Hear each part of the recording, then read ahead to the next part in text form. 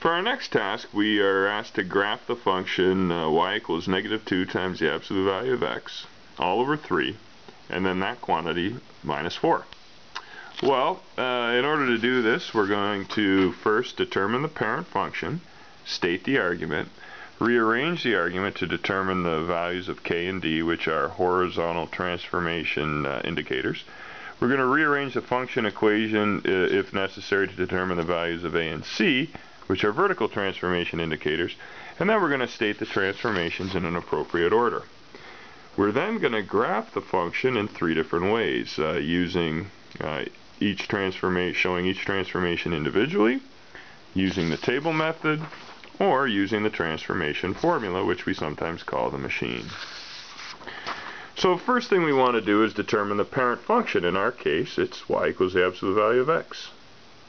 We then want to determine the argument, and in our case the argument is simply x.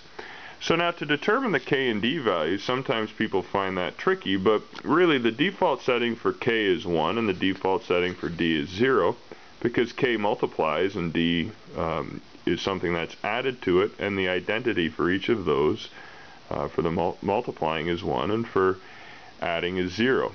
A less technical way of saying it is simply to say x equals 1 times x minus 0. So k is 1, d is 0. We can then rearrange the function equation if necessary to determine a and c. Well, negative 2 times the absolute value of x all over 3 is the same as negative 2 over 3 times the absolute value of x. And then we're subtracting 4. So really what we have is an a value of negative 2 thirds and a k value of negative 4. Well, a verbal description of the transformations that occurs when a equals negative 2 thirds is that we have a reflection in the x-axis followed by a vertical compression by a factor of 2 thirds. And when c equals negative 4, we have a translation down 4 units. So to show each transformation individually is the object of method 1. We begin with our parent function y equals the absolute value of x, and these are the coordinates. What we then want to do is reflect it in the x-axis. So every one of these points, 0, 0 for instance, will have a um, y value that's been multiplied by negative 1. So that becomes 0, 0. 1, 1 will become 1, negative 1, because that's what happens when you reflect something in the x-axis. And finally, 2, 2 will have uh, new coordinates of 2, negative 2. The image of negative 1, 1 will be negative 1, negative 1. The image of negative 2, 2 will be negative 2, negative 2. And so we can now discard the black curve and focus on the green. And we're one transformation in to our three transformation question. Well, the next thing we want to do is consider a vertical compression by a factor of 2 thirds. What we're going to have to do is multiply every y coordinate by 2 thirds pushing us a little bit closer to the x-axis. Well, it gets a little bit crowded here, but what happens is 1 negative 1 will become 1 negative 2 thirds. And 2 negative 2, the image of that will be 2 negative 4 thirds. Every y coordinate uh, in green has been multiplied to uh, by 2 thirds to become the y coordinate in blue. We can now discard the green curve and focus on the blue. And we're now two transformations in to our uh, three transformation problem. The last transformation that occurs is a translation down four units.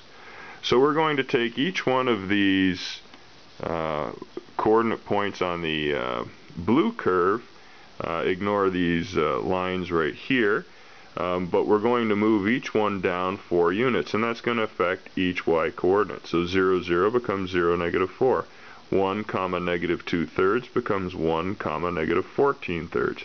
2 negative 4 thirds becomes 2 comma negative 16 thirds. Um, some facility with fractions is quite uh, beneficial here.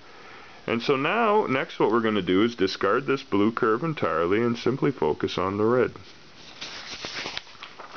And there it is.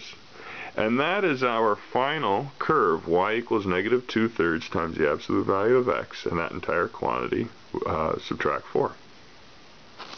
Okay? So if we wanted to see all those on one graph, it would look something like this.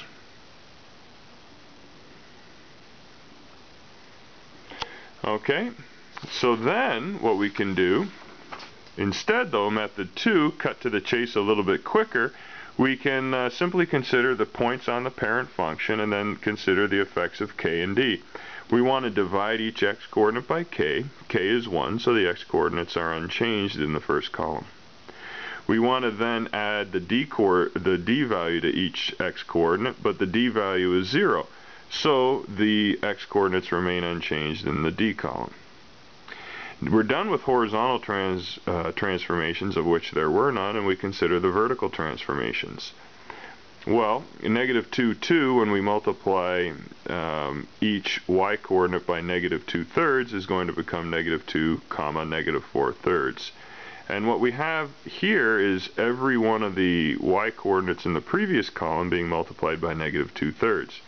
We then subtract 4 from every y-coordinate to um, account for our translation down 4 units, and we get these coordinate points here.